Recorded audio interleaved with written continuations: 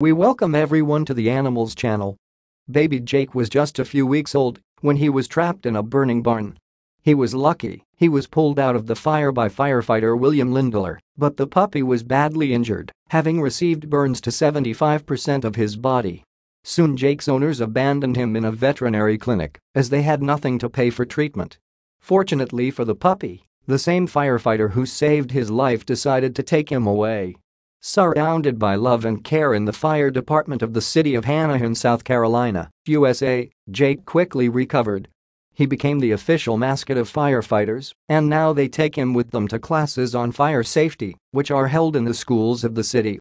In these classes, children are told about how to prevent a fire and what to do in an emergency. Jake even has his own firefighter badge. I think it would be great to certify Jake as a therapy dog for children who were burned in a fire so that they can play with him and understand that life goes on even after such terrible things, and Jake is proof of that. After all, he was very badly hurt, but look at him, what a handsome man. Jake was a few weeks old when he was trapped in a burning barn.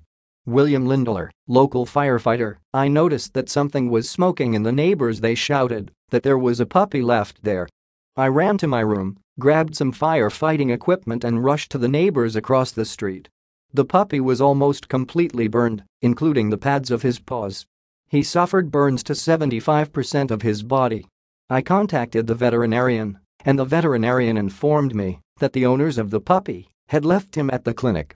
Unfortunately, they could not afford to pay for treatment and care. That's when my family and I decided that we would take him away.